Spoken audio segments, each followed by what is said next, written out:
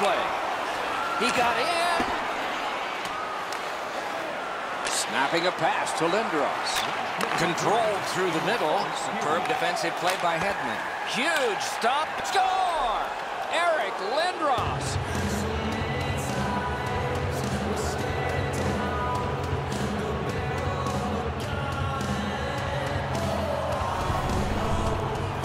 He had that wrist shot ready to go in the perfect scoring area.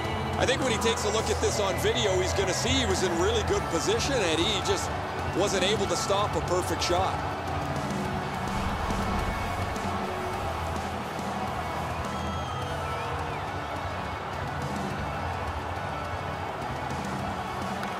They win the draw and will now set up an attack.